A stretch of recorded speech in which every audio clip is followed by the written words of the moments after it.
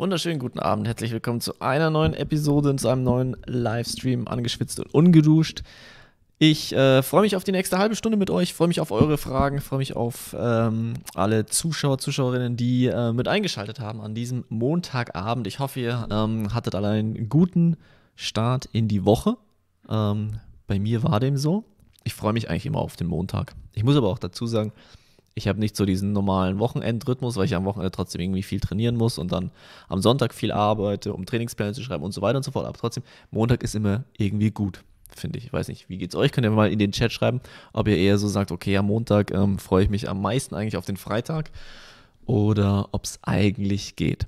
Genau, lasst mich gerne auch mal wissen, von wo ihr gerade zuschaut. Und ähm, dann würde ich sagen, ohne größere Umschweife starten wir direkt ähm, in den Hauptpart dieses äh, Livestreams, nämlich in das Training meiner letzten Woche. Denn ich denke, oder äh, ja, genau, das, deswegen sind wir hier. Das ist irgendwie so die Haupt, ähm, der Hauptpunkt, den wir hier zu besprechen haben. Ähm, wir gehen das Ganze von, äh, von hinten mal an und schauen zuerst hier ganz rechts drüben im Stream auf die Gesamtdauer, die ähm, auch immer noch nicht crazy hoch ist mit 19,5 Stunden, 19 Stunden 25.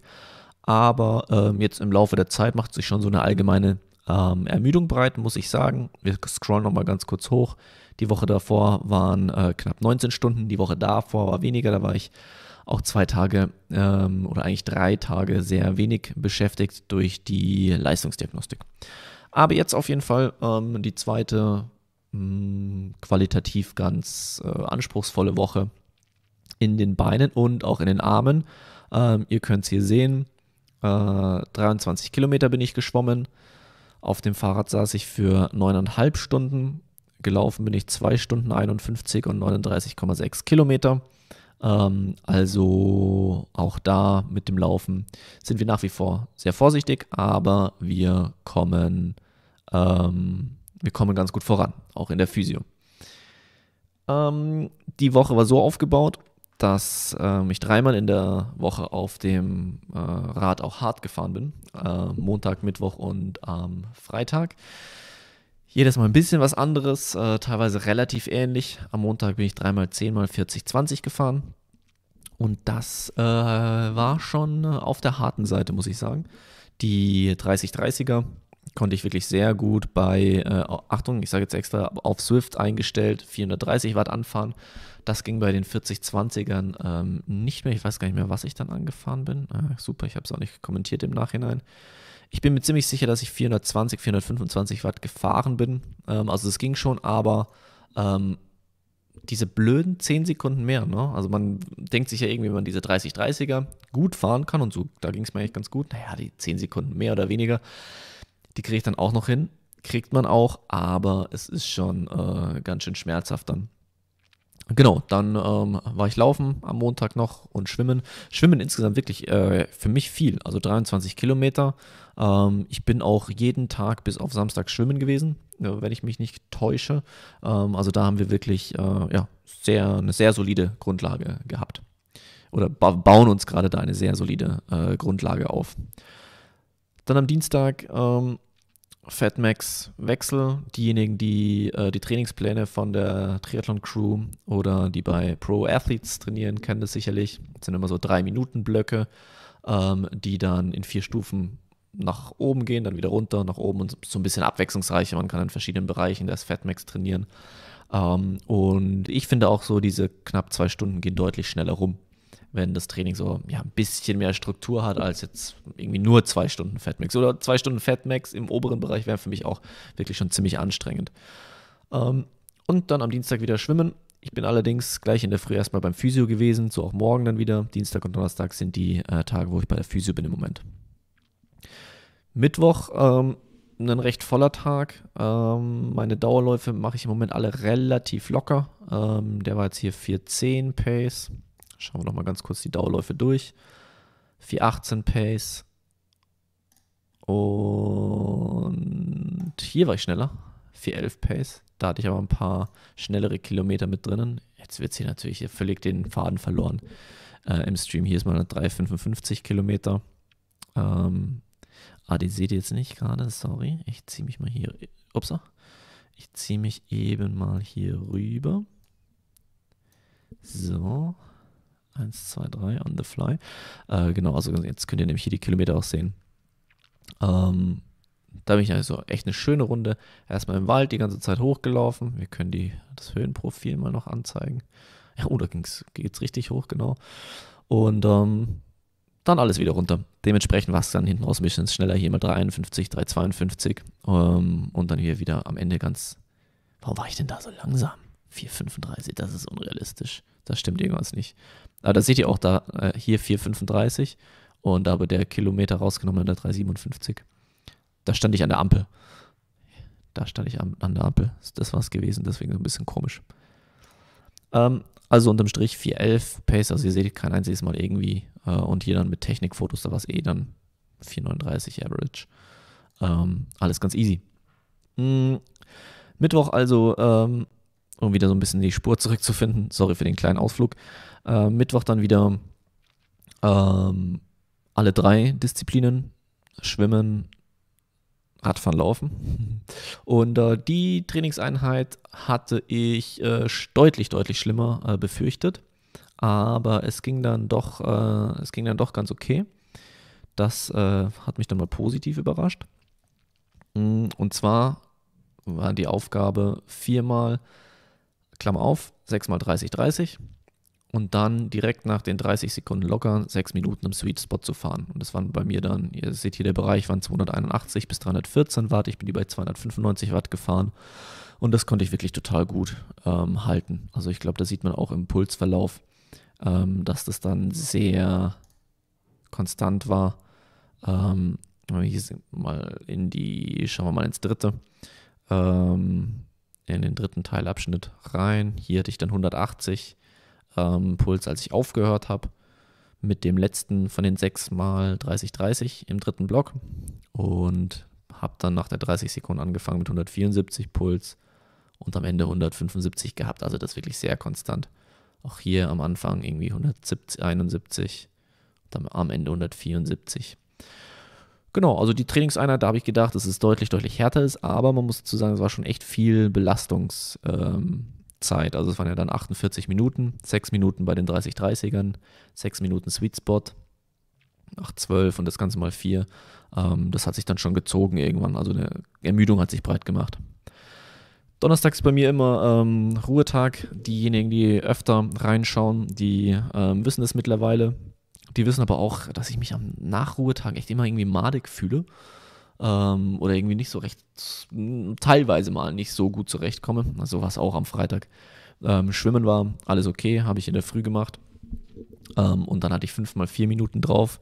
Und die vier mal vier Minuten letzte Woche, die gingen noch so easy. Da konnte ich von den anfänglich 365 Watt bis 380 Watt hochsteigern, 5 Watt von Durchgang zu Durchgang. Ich habe mir gedacht, ja, das kann ich echt gut kontrolliert durchfahren. Also war schon anstrengend. Easy ist natürlich äh, maßlos äh, übertrieben, aber oh, dieses Mal habe ich beim ersten Mal schon so gelitten. Und wie gesagt, dann nochmal für einen mehr. Das war echt hart. Ähm, ich habe ja ein Video drüber gemacht. Ähm, das, wer es noch nicht gesehen hat, kann es gerne machen. Das ist das letzte Video, was ich veröffentlicht hatte. Ähm, hatte da auch Laktatwerte genommen. Die Laktatwerte müssen wir jetzt alle mal noch ein bisschen ähm, mit Vorsicht genießen. Ich hatte da 9,6, 8,4 und vor allen Dingen dann nach so einer halben Stunde schon im oberen Litbereich Fatmax 3,9 Millimol pro Liter. Also da wir sind da so ein bisschen, bisschen am Hadern, ob das so stimmt. Ähm, ich muss jetzt morgen nochmal so einen Test, äh, jag da die Testflüssigkeit nochmal durch und ähm, ja, das muss ich mal, also ich habe dann am Samstag auch nochmal, äh, können wir gleich rüberspringen, können wir gleich rüberspringen. Ähm, Freitag waren dann noch 12 Kilometer, 12,5 sogar. Ähm, am Samstag dann nochmal Lit bis ähm, zur ersten Schwelle. Da habe ich auch nochmal messen sollen und dann kam auch schon wieder 4 Laktat raus und sage, okay, das Quatschen. Also im 10 Kilometer Rennen äh, laufe ich bei 4 Laktat ungefähr vorm Endspurt. Also ähm, irgendwas stimmt da noch nicht so ganz. Wir testen es morgen nochmal und ähm, ja, genau. Dann schauen wir mal. Im schlimmsten Fall muss ich es halt nochmal zurücksenden und ähm, dann mal gucken wie wir da äh, mit weitermachen. Aber ich denke, dass vielleicht auch noch so ein bisschen die Bedienung muss man sich auch dran gewöhnen. Aber wie gesagt, eigentlich, äh, wenn der Tropfen Blut äh, drinnen ist und ähm, man vorher den Finger gut gemacht hat, dann wird was angezeigt und das, was angezeigt ist, sollte dann eigentlich passen. Ist jetzt auch nicht ganz günstig, das Gerät, deswegen ein bisschen ärgerlich an der Stelle, aber okay. Ja, unterm Strich waren es also leider auch wieder ähm, alle Radfahrten, ähm, alle fünf Radfahrten auf der Rolle. Ich hoffe, ich drücke drückt mal die Daumen, Leute, dass am Samstag ähm, das Draußenfahren möglich ist. Ähm, die Einheit von, vom letzten Samstag, von vorgestern, wäre jetzt draußen auch nicht so gut umsetzbar gewesen mit 20 Minuten Lit, dann 10 Minuten ein bisschen zügiger. Ähm, da hätte man dann die Gruppe wahrscheinlich auch ein bisschen gesprengt. Ähm, genau. Die nächste Woche wird auch nochmal hoch auf jeden Fall. Da werden auch nochmal drei ähm, härtere Einheiten, drei Hit-Einheiten kommen. Heute habe ich schon die erste gemacht. Ähm, heute bin ich 13 mal 30, 15 gefahren. Das war auch unangenehm, aber machbar. Äh, machbarer als die Einheit am Freitag. Und dann haben wir schon mal drei gute ähm, Wochen hinter uns, worüber ich mich wirklich sehr, sehr freue. Dann, ähm, ja, ich weiß nicht, so jetzt, klar, ein bisschen ärgerlich ist es mit dem Laufen noch, aber ich muss wirklich sagen, dass ich mich schon, ähm, ja, ganz gut angekommen, also ich fühle mich, dass ich so ganz gut angekommen bin. Ne? So die Form steigt schon auf jeden Fall ähm, ganz gut an. Und eine gewisse Trainingsmüdigkeit macht sich breit, was auch irgendwie ein gutes Zeichen ist.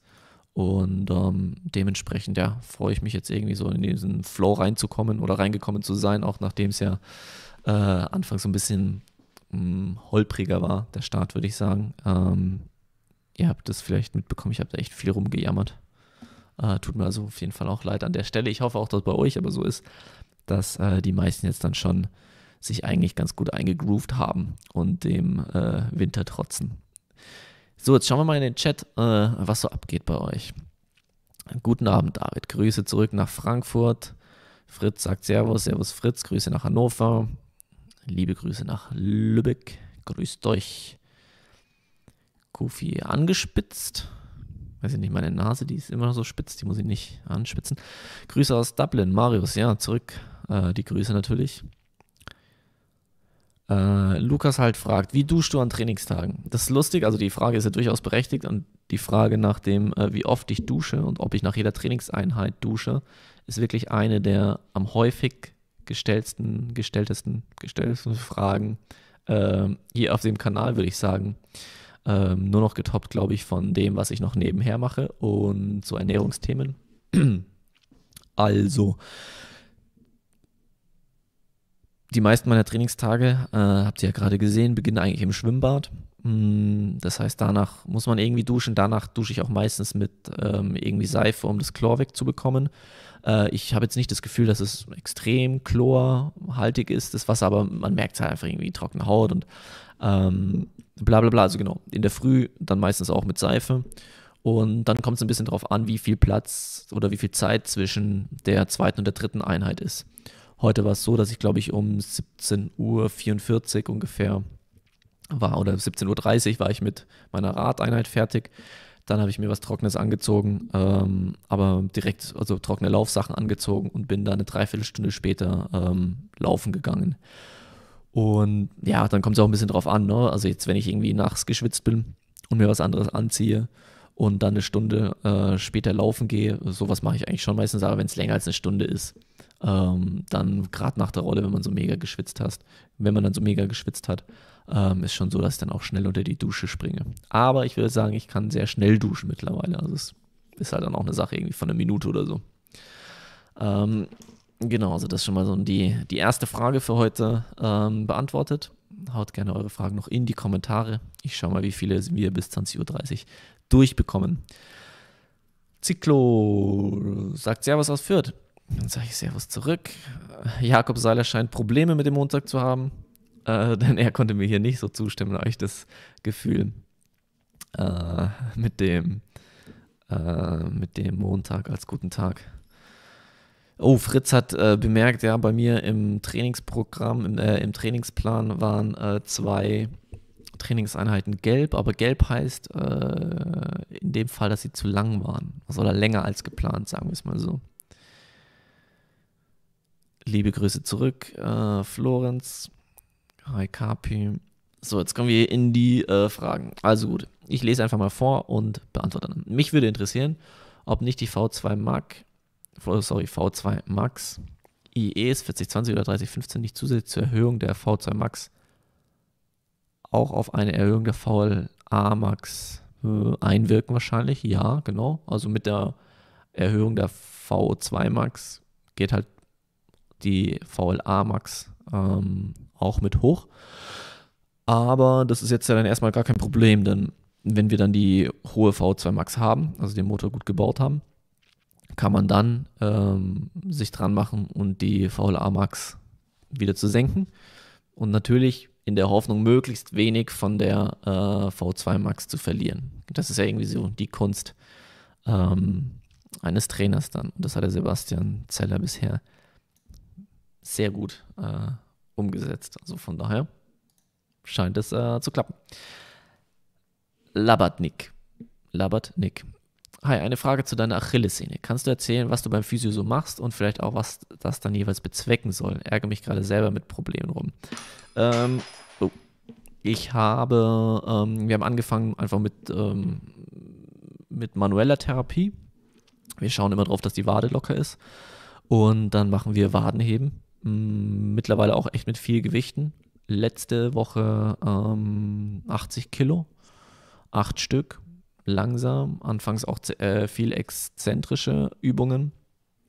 Ähm, alles sehr kontrolliert, auch alles immer unter genauer Beobachtung ähm, um die Muskulatur außenrum zu stärken, aber auch um der Sehne einen gewissen, die, die Sehne einen gewissen Load auszusetzen.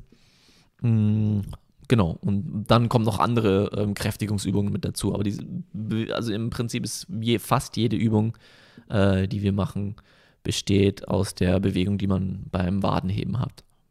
Genau, also man sieht auch äh, mega krass an meinem Physio ein äh, Foto äh, gemacht mal von meinen Waden von hinten dass auf der linken Seite der Soleusmuskel deutlich, deutlich weniger äh, ausgeprägt ist als auf der rechten Seite. Ähm, und das kann unter anderem ein Anzeichen dann sein, dass die Seite einfach ein bisschen anfälliger ist. Äh, so, heute hatte ich Leistungsdiagnostik gehabt. Also schreibt Christoph Andreas Wolf sagt, so, heute hatte ich Leistungsdiagnostik gehabt und meine Laktatwerte sind echt mies. Was kann man, dagegen, kann man machen dagegen? Ähm, mh, mm, naja, also bei der Leistungsdiagnostik hat ja vielleicht dann entweder der, äh, die Person, die die Diagnostik durchgeführt hat, ähm, sollte eigentlich dazu was sagen oder ähm, der Trainer dann mh, mm, so ins Blaue rein, kann ich so sagen, so blöd es klingt, trainieren ist dann auf jeden Fall äh, gut. Und dann kommt halt drauf an, was mies ist. Ne? Mm, genau, aber Training hilft in aller Regel. Andi T. Schick Grüße aus Speyer und danke für den Tipp letzte Woche bezüglich Mittelfußlauf. Heute hatte er Hügelläufe nach Sebastian Zeller Plan. Gute Einheit, sehr gut. Das freut mich. Daumen hoch. Hügelläufe mache ich auch total gerne. Jetzt aber erstmal nicht, weil die sind für die Sehne schon echt sehr belastend. Ähm, Gabi schreibt, Feli, was noch was neben dem Triathlon? Ich mache nur YouTube-Videos hier. Den ganzen Tag Livestream. Äh, genau, Fritz stellt die Frage, wie ich mich ernähre. Sehr gut. haben wir die lustigen auch abgehabt. Weiter geht's. Ach, angespitzt und ungut verstanden, alles klar. Ähm, Florenz Litzkovic. Litzkovic, fährst du deinen Carbonrahmen auf der Rolle? Direkt an dem scheinbar sehr umstrittenes Thema. Manche meinen, der Rahmen kann reißen, gerade wenn man in den Wiegetrick geht. Ähm, ja, ich, und es war ja auch mega, irgendwie das Buhai als, äh, ich glaube, Canon letztes Jahr das erste Mal ähm, sozusagen über eines ihrer Rahmenmodelle äh, gesagt hat, das kann man auch auf der Rolle fahren, also sozusagen freigegeben hat äh, für die Rolle. Ähm, ich bin mir auch ziemlich sicher, dass bei den meisten Anbietern äh, darauf explizit hingewiesen wird, irgendwie, dass es nicht dafür gedacht ist. Mm, aber ja, ich fahre trotzdem meinen Carbonrand da drauf. Aber ich fahre so gut wie nie im Wiegetritt. Also, und ich achte schon auch drauf, ähm, also was ich jetzt zum Beispiel nicht mache, ich gehe jetzt nicht in Unterlenker und sprinte halt wie, äh, wie beim Ortsschildsprint oder was man halt so macht, ne? Ähm, auf der Straße. Also das mache ich nicht. Wenn ich mal in Wiegetritt gehe, dann ist es auch wirklich sehr äh, mit den Beinen, mit den Knien nah am Rahmen entlang, äh, dass ich nicht so diese extreme seitliche Verwringung habe. Und ähm, ich habe den Tax Neo. Da ist es auch so, dass der hinten ähm, ein bisschen, ach hier ist die Kamera, dass da hinten, wenn ich ähm, auch ein bisschen unruhig werde im Oberkörper, dann neigt sich die ja auch immer ein bisschen mit. Also das auch, das ist jetzt nicht so mega starr. Ähm, aber ja, ich, wird bestimmt schon vorgekommen sein, dass es da ähm, irgendwie kaputt gegangen sind. Rahmen, toi, toi, toi. Hier bisher alles sauber. So, nächste Frage von Apo Nax mal eine für mich bisher ungeklärte Frage, aber was machst du hauptberuflich? Weil bei der ganzen Zeit, die du hast, schickst für einen normalen Arbeitsalltag ja keine Zeit mehr. Ja, genau. Ähm, also, ist, genau, der Großteil der, äh, meiner Wochenzeit geht ins Training. Dann der zweitgrößte Zeitteil äh, geht in die Betreuung ähm, unseres äh, Kindes.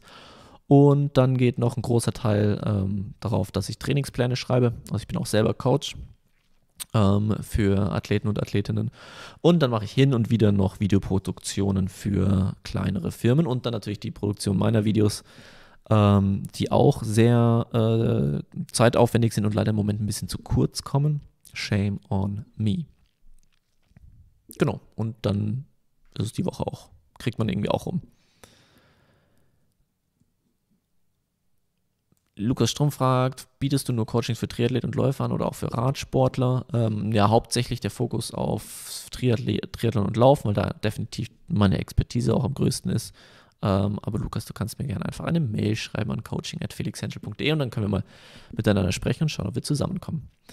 ATP-Kompressor, schick Grüße aus Berlin. Wünsche dir, dass du den Blog schön durchziehen kannst. Jawohl, ähm, ATP-Kompressor. Vielen Dank, Grüße zurück wenn ich die Woche äh, geschafft habe und heute ist ja schon die erste äh, Hit-Einheit sozusagen abgehakt. Ähm, genau, da mache ich drei Kreuze und bin sehr zufrieden. Äh, ich denke, da haben wir echt schon, schon wieder einen guten Block gesetzt. Dann eine Woche durchschnaufen, Weihnachten und dann geht's auf in den nächsten Block. Ich habe Lust, also muss sagen, ich bin echt motiviert. Also Training macht Spaß im Moment. Ähm, Simon P. Aus welchem Grund laden Profi-Triathleten dich eingeschlossen ihre Schwimmeinheiten meistens nicht auf Strava hoch? Ähm, weil ich sie einfach nicht mit der Uhr tracke. Also extrem selten. Zu 99 Prozent schwimme ich halt nicht mit der Uhr, sondern schwimme einfach. Also wir haben halt im, äh, wir haben am Beckenrand so eine Schwimmuhr und dann muss ich die Uhr nicht am Handgelenk tragen und kann das ohne ähm, machen. Genau. Und ansonsten, wenn ich irgendwie Freiwasser schwimme oder so, dann habe ich die Sache auch immer eigentlich ganz normal hochgeladen. Außer ich bin mal so schnell gewesen, dass ich es dann ähm, wieder runtergenommen habe, dass meine Gegner nicht irgendwie denken, ich kann jetzt plötzlich auch noch schwimmen, dann wäre es ja wär richtig dramatisch. Zyklo, mich würde folgendes interessieren. Wenn du alle vier Tage Nachtschicht arbeiten müsstest, um Gottes Willen, wann würdest du deine intensiven Einheiten machen? Wegen der besten Regeneration. Ähm, naja, wenn es alle vier Tage ist, dann würde ich eine Nacht nach der Nachtschicht normal schlafen. Dann die Einheit machen, dann hast du ja noch eine normale Nacht und dann hast du die nächste Nacht, die Nachtschicht. Ähm, also ich würde sozusagen den, den Tag nehmen, der am weitesten weg ist von der Nachtschicht. Genau. Ähm, ein Athlet, den ich trainiere, Mario, ähm, ist bei der Polizei auch schon ganz lang und war auch in verschiedenen Stationen und Einsatzgruppen und so weiter und so fort. Und da haben wir das Problem, in Anführungsstrichen, immer die Herausforderung auch immer wieder. Und ähm, ja, genau, das kriegt man dann schon irgendwie unter, aber da muss man dann schon auch sehr äh, spontan und individuell entscheiden, wann was geht und wann nicht. Es ist ja jetzt auch nicht jede ähm, harte Einheit ähm, gleich anstrengend. Genau, also es gibt ja auch manchmal Sessions, die schon fordernd sind, aber wo man sich auch mental vielleicht nicht so fertig machen muss, weil es eigentlich ganz gut umsetzbar ist. Und dann gibt es Sachen, wo man sich vielleicht vorher irgendwie in die Hose macht, weil es mega anstrengend auf dem Blatt ausschaut und, und man braucht auch wirklich viel Energie, man braucht viel Schlaf danach, um sich auch mental wieder zu erholen. Ähm, genau, ich glaube, das ist dann einfach ähm, auch noch ein bisschen tagesabhängig. Islander fragt, machst du im Winter ab und zu auch Langlauf oder Mountainbike? Ähm, also ich hab, besitze kein Mountainbike, deswegen fällt es raus. Und Langlauf, ähm, nee, auch nicht. Wir mit Susanne waren wir, glaube ich, vor zwei Jahren mal ähm, hier im Fichtengebirge. Äh, Gibt es einen äh, Skiort oder so einen Skiberg, der heißt Ochsenkopf. Da fahren viele, ähm, die irgendwie so Ausdauersport machen, hier aus Bamberg immer mal wieder hin. Ähm, aber also ich habe jetzt auch keinen, also ich kann die Technik nicht gut. Ähm, das hat schon was. Das war schon auch ein cooler Tag, wo wir das mal gemacht haben. Also man kann sich hier Ski auch relativ günstig ausleihen, aber in der Summe kommt dann doch da auch ein bisschen was ran. Und wenn man sich halt dann überlegt, man fährt halt locker eineinviertel Stunden, hätte ich gesagt, Haustür zu Haustür oder Haustür zu Parkplatz, bis man an der Loipe ist. Das gleiche wieder zurück. Dann ist man schon irgendwie bei zweieinhalb Stunden Auto sitzen für, keine Ahnung, zwei, drei Stunden Training. Ähm, muss ich dann zugeben, dann freue ich mich dann doch auch, wenn ich nach zweieinhalb Stunden von der Rolle steigen kann oder hier vor die Haustür äh, rolle mit dem Fahrrad, mit dem Rennrad ähm, von der Runde auf der Straße und dann äh, mich an den Kaffeetisch setzen kann oder äh, einen, ja, einen Mittagsschlaf machen kann und nicht noch zusätzlich irgendwie dann zweieinhalb Stunden äh, im Auto sitzen. Aber klar, es ist irgendwie eine coole Abwechslung. Ähm, ich kann auch alle äh, verstehen. Ich glaube jetzt die Gruppe um Philipp Seib äh, sind auch in St. Moritz, ähm, also Laura Philipp, Sebastian Kiele etc. und fahren da viel Langlauf. Ähm, ich weiß, dass der äh, Andi Dreiz auch viel ähm, Langlaufmäßig macht. Äh, aber ja, wie gesagt, mich hat es bisher ähm, noch nicht, ja, mich hat es auch nicht, nicht so mega gereizt. Außerdem, ich bin nicht so der Winterfan, da ist es dann auch kalt und das ist irgendwie auch, ja, nervig. Beutel-Uwe, wirst du nochmal an einem reinen Laufwettbewerben teilnehmen, zur Vorbereitung 10 Kilometer Zeit zu verbessern? Ja, das ist eigentlich der Plan gewesen. Ich wollte eigentlich die Sub 30 angreifen im Frühjahr. Jetzt mit der ganzen Sehnenproblematik, Dramatik hätte ich beinahe gesagt, Problematik, hm, muss ich mal ein bisschen gucken oder müssen wir mal ein bisschen gucken, was dann noch realistisch umsetzbar ist und ähm, ja, was wir, was wir noch machen können. Ja, mal gucken. Schauen wir mal. Aber eigentlich will ich schon nochmal, ähm, wie gesagt, 10 Kilometer äh, Zeit verbessern. Und ich glaube auch irgendwann, wenn ich so die Leistungssportkarriere so richtig beende, dann werde ich mich auch wieder vermehrt für so Laufwettbewerbe oder sowas vielleicht vorbereiten. Aber dann einfach so, um fit zu bleiben, weil es einfach weniger zeitintensiv ist. Ulrich Lange schreibt: Grüße aus Goslar Harz. Grüße zurück. Solltest du wieder in Rot starten, werde ich anreisen, um dich anzufeuern. Das freut mich zu hören dann wäre schon mal mindestens ein Fan an der Strecke oder ein Supporter. Das ist gut, das freut mich. Alexander Hostes fragt, wo bringst du denn noch Athletiktraining unter? Ja, im Moment ähm, ist mehr Athletiktraining als die Physio äh, nicht nötig, weil es fordernd genug ist. Und ähm, die andere Sache, also Athletiktraining ist eigentlich kein Problem, weil ich glaube, man muss da nicht mehr als 15 Minuten am Stück machen. Also wenn man das gut durchtaktet, dann kann man in 15 bis 20 Minuten schon sehr viel machen. Ähm, ich erreiche da für mich den meisten Benefit mit Medizinballtraining, Medizinballwürfen und da habe ich so eine Routine, da brauche ich wie gesagt 15 bis 20 Minuten, kurze Erwärmung davor, ähm, Schwunggymnastik, Schultern locker machen, ähm, ja und dann ist es eigentlich kein Stress, das dann noch äh, unterzubekommen.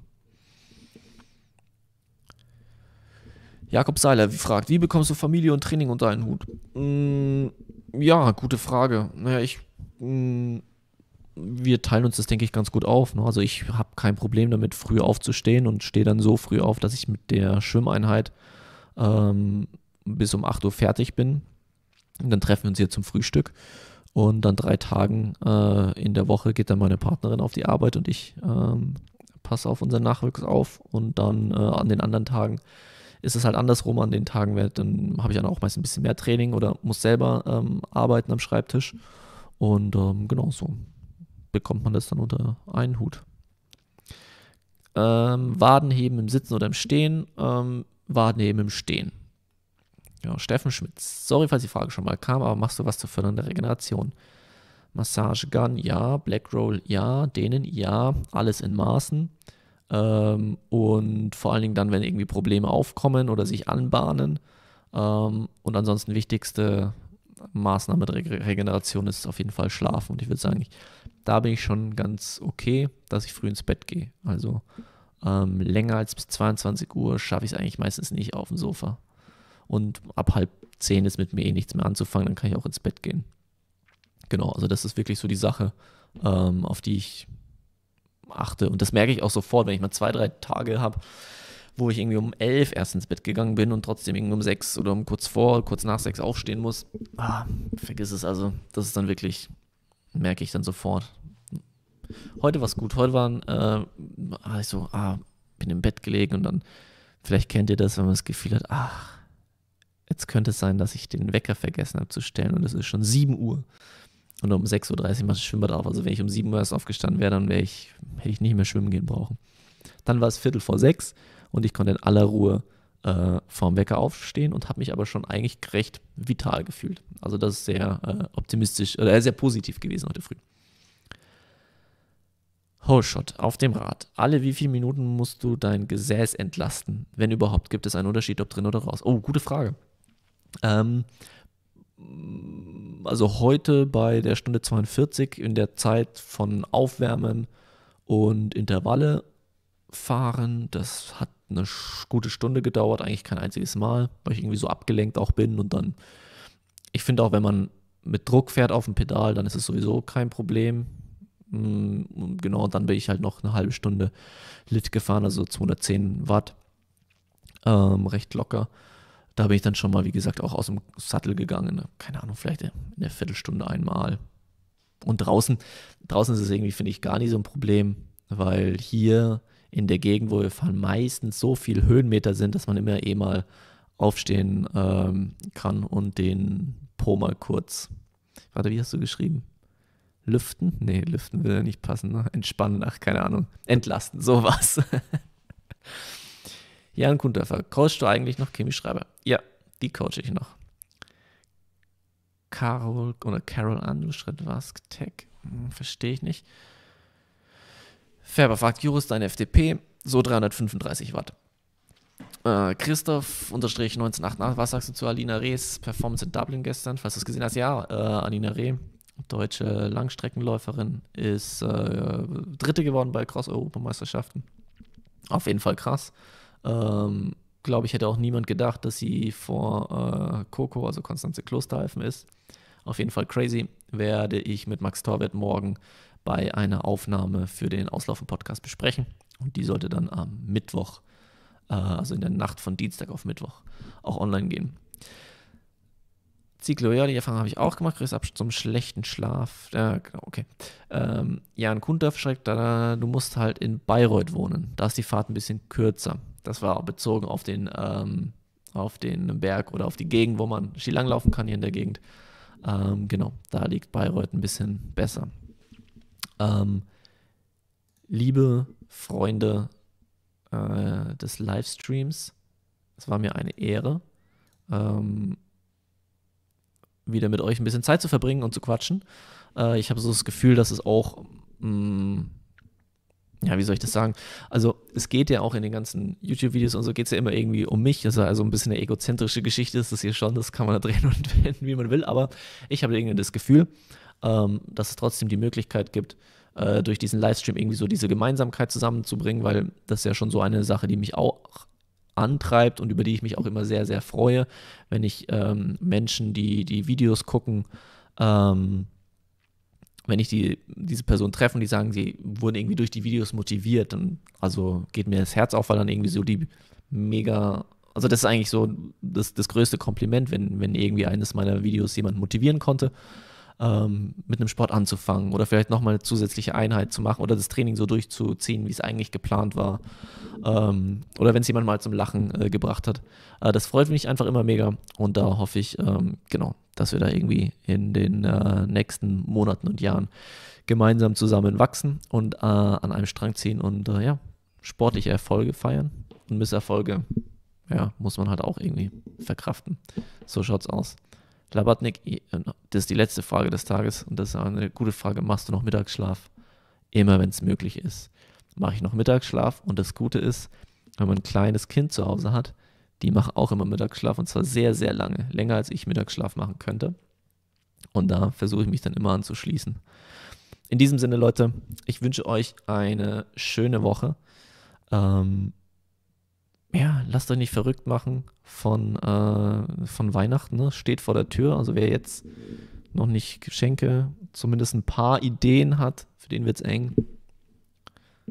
Da sollte ich mal Gas geben. Also in diesem Sinne, wir sehen uns. Tschüssikowski.